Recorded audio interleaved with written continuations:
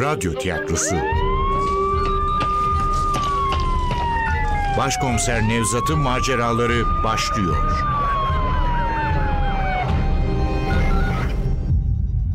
Kırlangıç Çığlığı 19. Bölüm Eser Ahmet Ümit Seslendirenler Başkomiser Nevzat Nuri Gökaşan Komiser Ali Umut Tabak Zeynep Dilek Gürel Tazı Zekai Tarkan Koç Ekrem Özgür Uğraş Özaslan Efektör Cengiz Saral Ses Teknisyeni Cem Koran Yönetmen Cemile Yaltın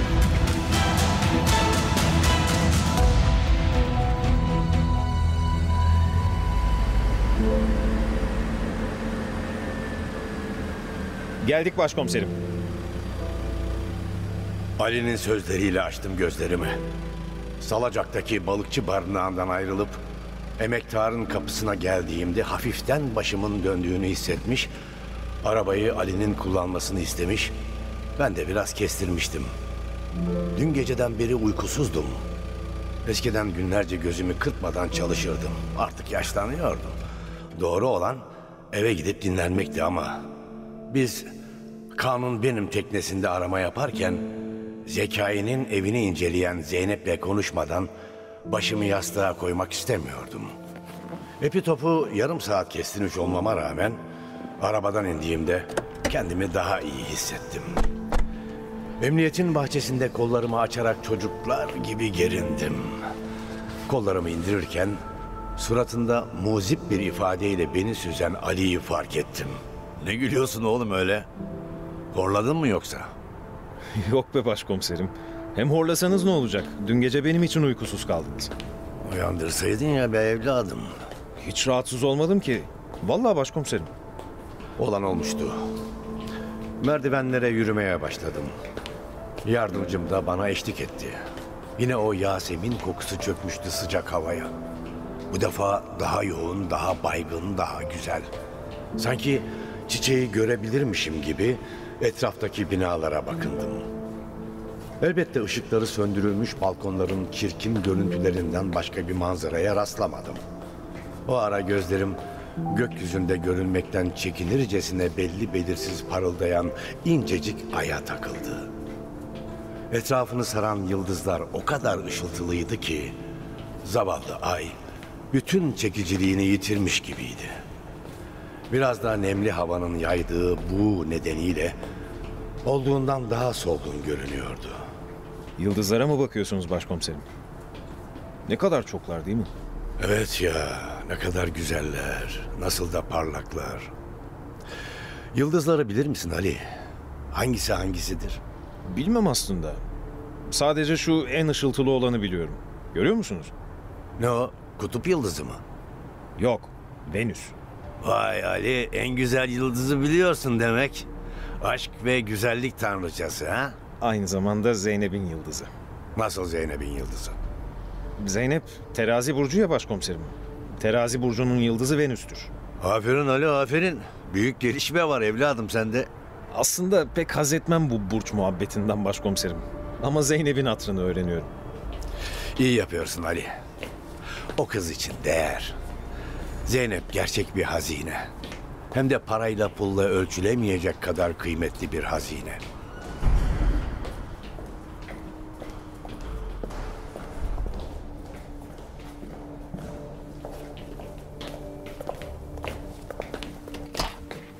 O kıymetli hazineyi odasında çalışırken bulduk. Sanki dün geceden beri uykusuz olan o değilmiş gibi bilgisayarın başına geçmiş heyecanla klavyenin tuşlarına dokunuyordu. O kadar kaptırmıştı ki kendini işine içeri girdiğimizi bile fark etmedi. İyi geceler Zeynep. İyi geceler başkomiserim. Ben de sizi bekliyordum. Hayrola? Zekai'nin evinde bir şey mi buldun? Yok evde değil ama şu Alper denen adam. Zekai amirimin evini ziyaret eden şahıs. Emekli komiser Alper Siper. Ee, ne olmuş ona? Zekai amirimin yardımcısıymış 5 yıl önce. Yani 2012 yılında körebe cinayetlerini işlerken o yıl soruşturmayı birlikte yapmışlar. Yani E, yanisi bu Alper seri katilimiz hakkındaki bütün ayrıntıları biliyor. Körebe konusunda rahmetli başkomiserimiz kadar bilgi ve deneyim sahibi. Üstelik bir yıl sonra yani 2015'te meslekten istifa ediyor. Ama hiçbir zaman Zekai amirimle irtibatı kesmiyor. Aksine daha da yakınlaşıyor. Neredeyse her hafta evini ziyaret ediyor. Aradaki bağlantı açık değil mi? Körebe bu Alper olabilir. Elimizdekiler sadece tahmin. Bu söylediklerinle adamı zanlı bile sayamayız. Ama Körebe'nin bizden biri olabileceğini konuşmuyor muyduk? Polisin çalışma tarzını çok iyi bildiğini, bu yüzden hiç açık vermediğini tartışmadık mı? Bu davaya hakim olan ikinci kişiden söz ediyoruz başkomiserim. Üstelik cinayetler bitince de polislikten istifa eden bir adamdan. Hala ikna olmadığımızı görünce bilgisayara döndü. Tuşlara bastı. Ekranda kumral saçlı, kalın kaşlı, koyu renk gözlü bir adam belirdi. Sevimli bir görünümü vardı. Alper Siper bu. Adam dövüş ustası. Söz gelimi değil, gerçekten dövüş ustası. Tekvando'da siyah kuşak, 8. dan yakında 9 olacak. Karizmatik, etkileyici, güven veren bir adam. Zaten istifa eder etmez de Siper Güvenlik adında bir şirket kurmuş. Bazı otellerin ve hastanelerin güvenlik işlerini organize ediyor. Oldukça da başarılı. Ve Zekai amirimin evine elini kolunu sallaya sallaya girebilecek tek kişi o. Sizi bilmem ama bence adam körebe profiline cuk oturuyor. Fena akıl yürütmüyordu ama acele ediyordu. Çok acele ediyordu. Aslında Zeynep'in tarzı değildi bu. Çünkü yorgundu. Belki de üst üste gelen cinayetler sinirlerini bozmuştu. Olayları doğru değerlendiremiyordu. Karşısına çıkan ilk ipucuna sarılarak bir an önce seri katile ulaşmak, bu karmaşık bulmacayı hemen çözmek istiyordu. Adamın özel hayatını biliyor muyuz? Çocukluğu hakkında malumatımız var mı? Hmm, çocuk yurdunda büyümemiş eğer merak ettiğin oysa. Ailesiyle büyümüş Yalova'da. Babası Raşit Bey bir devlet hastanesinde cerrahmış. Tamam arkadaşlar. Yarın ilk işimiz bu Alper'le konuşmak olsun. Bakalım ne çıkacak. Sahi Zeynep'ciğim, Arda'nın DNA örneklerini aldınız mı? Evet başkomiserim sonuçlar yarın gelir. Ama bence Hicabi'yi öldürenler o ikisi. Muhtemelen de Arda bıçakladı. Zeytinburnu'ndaki dairede luminol testi yaptım. Banyodaki lavabo olduğu gibi yeşil renge kesti. Zeminde de kan lekelerine rastladım. Belli ki orada yıkamışlar ellerini. Belki giysilerini falan da orada temizlemişlerdir. O yüzden Sipsi İsmail ile iki adamını gözaltında tutuyoruz hala. Belki savcı beye bilgi verirsiniz. Hiç değilse bu olayı çözeceğiz. Böylece körebeye dönebiliriz yeniden. Ben de onu diyecektim. Akif Soykan'la Ferit Selcim'in otopsi raporları geldi. Körebenin iki kurbanından bahsediyorum. Hı, işte burada. Öldürülmeden önce ikisine de ilaç vermişler. Bir çeşit kas gevşetici. Normalde anestezi sırasında kullanılıyor. Aşırı dozda verirseniz o kişi felç oluyor. Dozu daha da artırırsanız ölüyor. Yani körebe kurbanlarını önce kaçırıyor, onlara bu ilaçtan vererek uyuşturuyor, sonra öldürüyor. Aslında korkunç bir durum. Kurban neler olup bittiğinin farkında. Sadece hareket edemiyor. Her şeyi hissediyor. Başına gelebilecekleri kestirebiliyor. Yani kulağı kesilirken acıyı olduğu gibi hissediyor. Aynen öyle ama asla karşı çıkamıyor. Bütün bunlardan sonra körebe kurbanını cinayet mahalline götürüyor. Kırmızı kadife ile gözlerini bağlıyor. Seçtiği oyuncağı oraya bırakıyor ve adamın ensesine bir kurşun sıkıyor. Bu gibi ilaçları dozunu ayarlayacak kadar bildiğine göre körebenin tıp bilgisi de olmalı. Ha işte onu diyorum başkomiserim. Babası Raşit Bey cerrahmış ya. Tıbba üstelik anestezi ilaçlarına uzak biri değil. O yüzden Alper'e yoğunlaşmamız lazım. Bakın göreceksiniz bu adamın cinayetlerle bir alakası var. Anlayacağız Zeynep'ciğim. Dediğim gibi yarın çalalım Alper'in kapısını bakalım neler anlatacak. İstersen sen de gel. Düşüncelerini daha da netleştirirsin.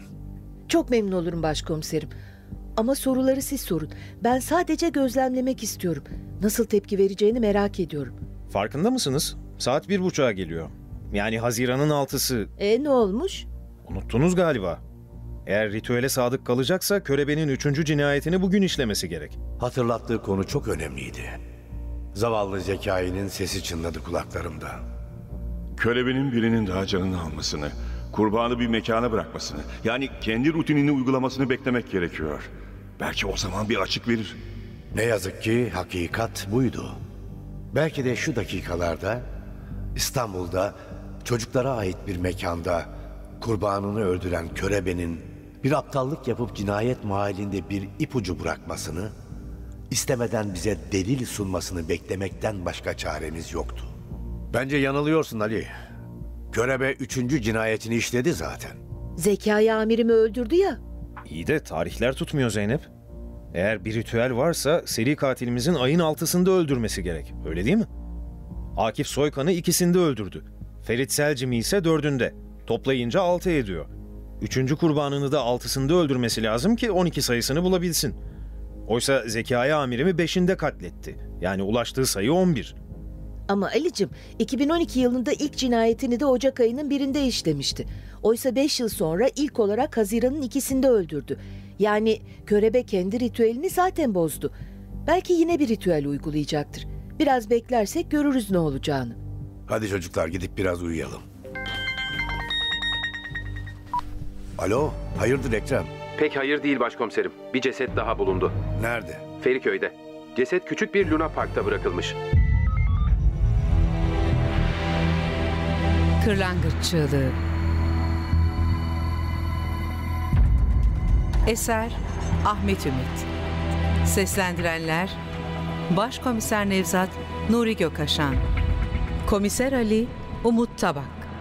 Zeynep Dilek Gürel. Tazı Zekai Tarkan Koç. Ekrem Özgür Uğraş Özaslan. Efektör Cengiz Saral. Ses teknisyeni Cem Koran. Yönetmen Cemile Yaltır.